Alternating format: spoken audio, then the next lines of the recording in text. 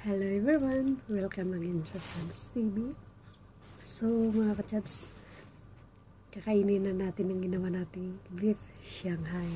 So, yung iba nilagay natin sa freezer para hindi masira. So mga kachabs, ito na ang ating final na ginawa. So, tingnan nyo.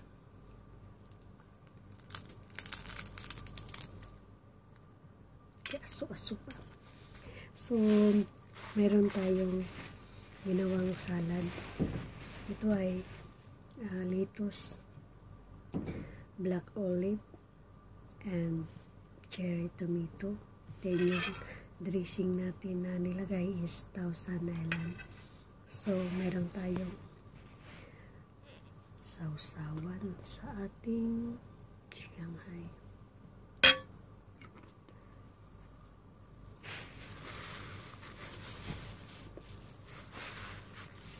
So, tara let's kain tayo. Sabi nga nila, pag may tiyaga, mayroong nilaga. Hindi madali mga kachabs.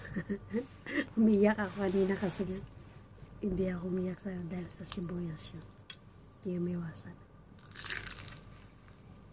Mmm.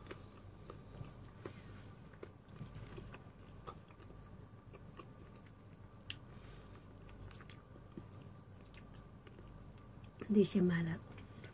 So, alam niyo ba na mga chubs, pag bumili ka nito sa ano, sa Chowking, tatlong pirasong maliliit, is 12 dirham.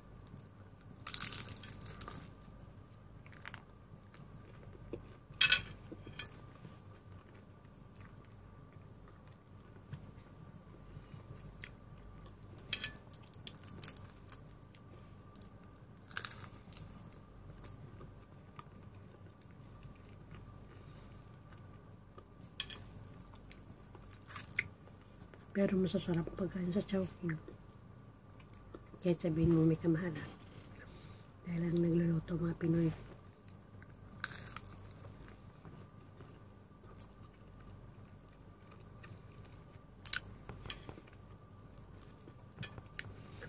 Ang pagluto ko kanina, dahan-dahan lang ating apoy.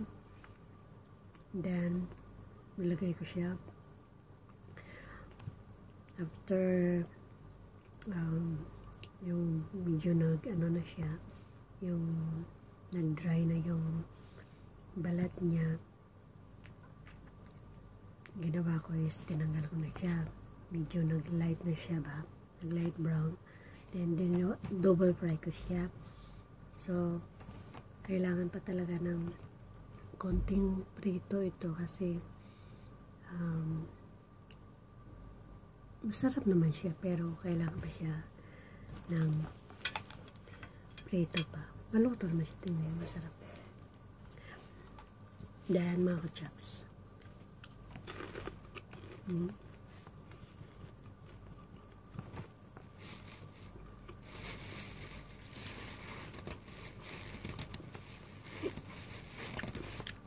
masarap pa yung lutong bahay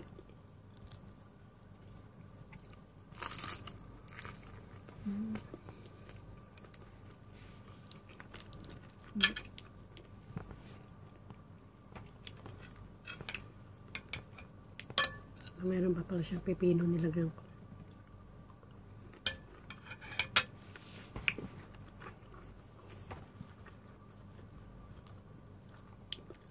Huwag lang tayong kumain ng sobra. Kumain ako nito mga chaps kasi pero pinarisan ko siya ng salad alam nyo na mm.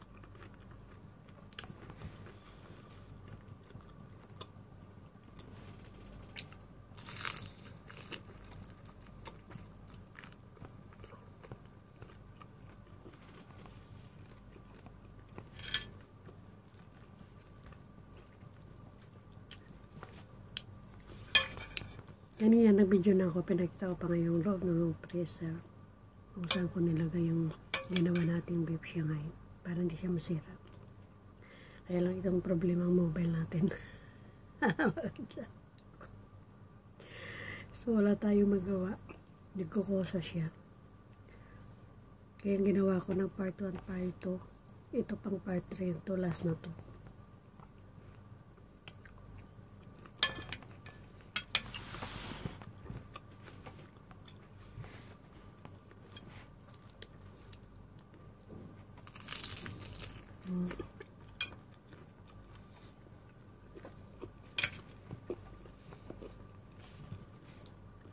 Mm-hmm.